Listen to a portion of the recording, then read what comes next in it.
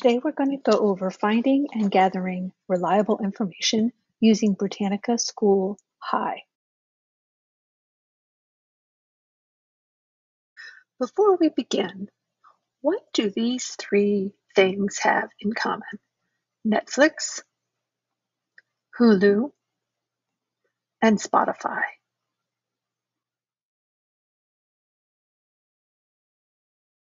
They are all paid subscription services. Netflix is a movie subscription service. Hulu is a TV subscription service.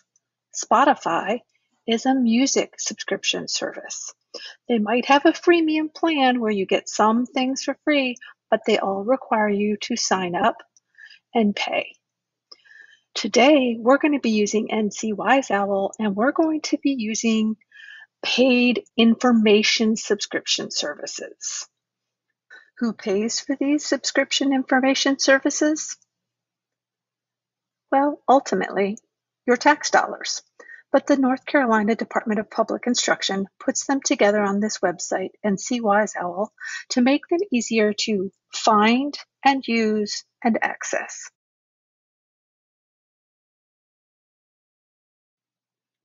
How do you access NC Wise Owl? There are two ways.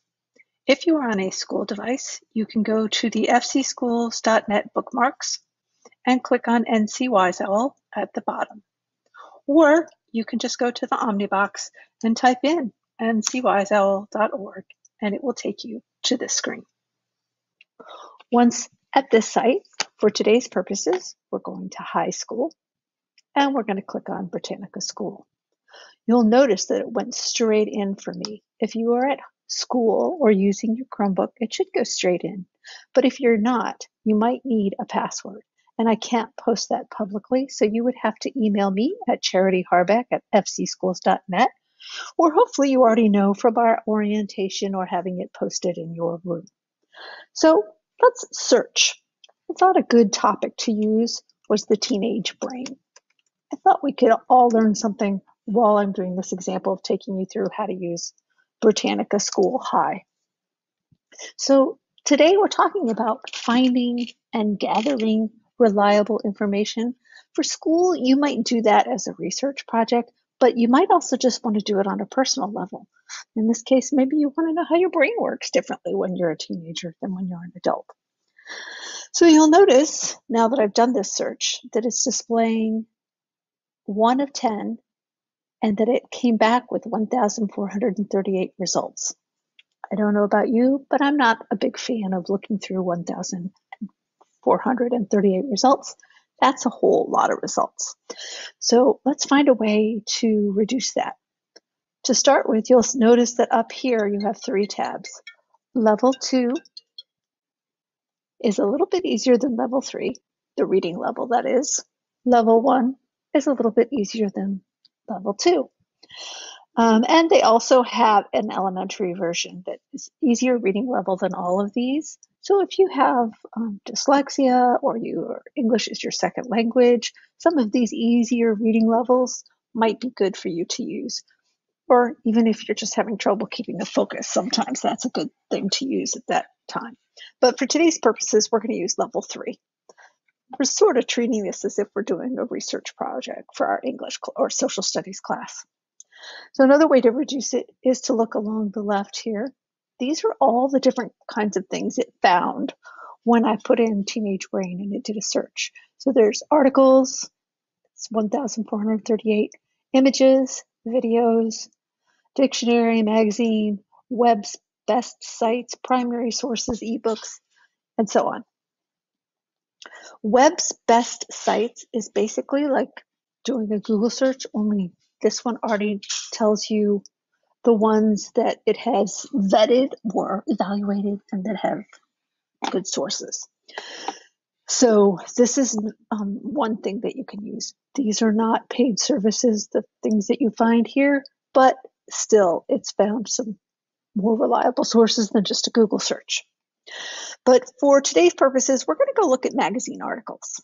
Now, say I'm doing the research on the teenage brain. I'm not sure if these articles are exactly what I brain want. My brain is optimized for cinema. Hmm, I'm not sure if that's what I want for my project or not. So I'm going to just kind of scroll through and look at the titles. I'm going to do something you might not do often. I'm going to go to page two. Never underestimate the value of the hits that you might find on page two. Now, just saying that I'm looking through and I'm going to think critically and say, gee, none of these are really exactly what I want for my topic, but maybe there's some supporting information or some peripheral information. This one, unlike adults, teens don't perform better when the stakes are high. Hmm, that's going to compare the brains of adults and adolescents and how they're different. I'm going to try that one. So once I get to the actual, um, oh, well, that didn't work. Let's try that again. Let's back up and click on that site one more time. There we go. That time it worked. Sometimes you just have to try again. Um, so now we're in the actual article, and there's some resources available to you here that I want to share as well. You can sign in to Britannica. I am not going to do that. Uh, you'll notice when I do sign in, I don't have an account actually. I was afraid that if I created an account, it would look different for students and educators. And so I didn't create an account. But it's pretty simple to create an account. But you'll notice you select educator or student, and that's why I worried that it would give me a different view. So I'm going to skip that. But I have some other resources here I can use. This will send it.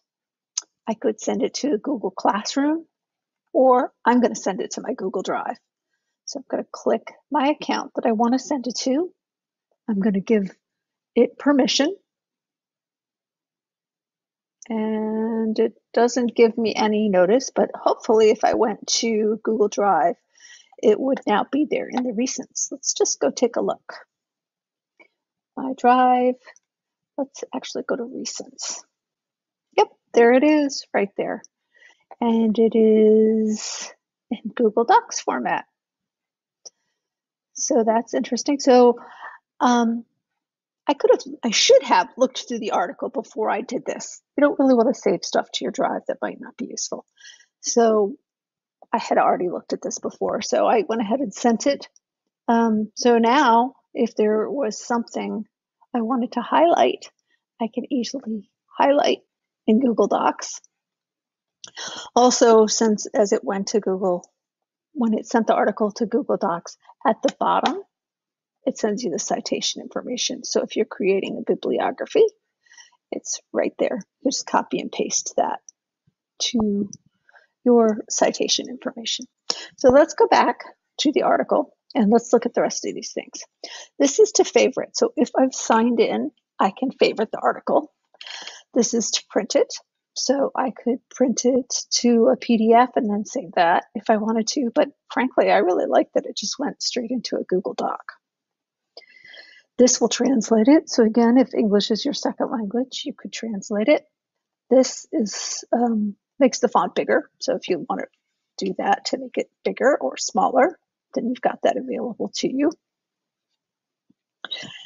And as I said, the citation information is down here, so you'll notice that it went back into this document exactly as it was. And the headings even show over here on this outline over the side. And that's it. We have found some information and we have gathered it to a place so that we can look at it later.